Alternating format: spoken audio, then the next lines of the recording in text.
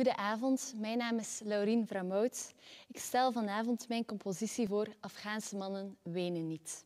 De tekst is geïnspireerd op een waar gebeurd verhaal. Het is een narratief van een jongen van ongeveer tien jaar die noodgedwongen moest vluchten uit Afghanistan.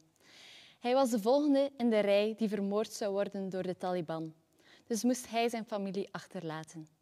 Bij het afscheid nemen van zijn familie zag hij voor het eerst tranen bij zijn vader, wat heel verwarrend was, want als kind leerde hij dat Afghaanse mannen niet wenen. Op zijn tocht naar Europa werd hij vergezeld door andere mensen die ook op de vlucht waren. Doorheen de weg die ze aflegden, mocht hij enorm, uh, maakte hij enorm veel traumatische gebeurtenissen mee. Zo werd hij wakker met smeltende schoenen door het te dicht slapen, uh, in slaap vallen bij het vuur. Hij zag mensen vechten om voedsel, om te kunnen overleven.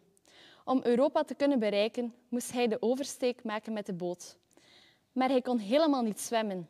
Tijdens die boottocht begon iedereen te bidden. Ze fluisterden allemaal ja latief. Wat wil zeggen, o lieve Heer, o uh, Allah, red mij. Doorheen de hele tocht speelde zijn moeder een enorm belangrijke rol. Door haar en zijn gedachten op te roepen, vond hij terug de moed en de kracht om door te gaan. Wanneer hij uiteindelijk in België aankwam, hoorde hij pas na een half jaar zijn moeder terug.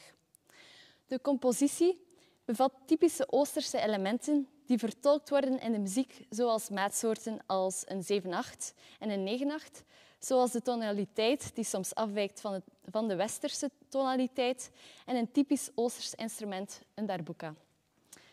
Het stuk wordt vertolkt door Marlies Montaigne als sopraan, ehm, Kaatje Giers als mezzosopraan, Pieter-Jan Vergooyen op piano en uh, op, op darbuka Bart Rosseel.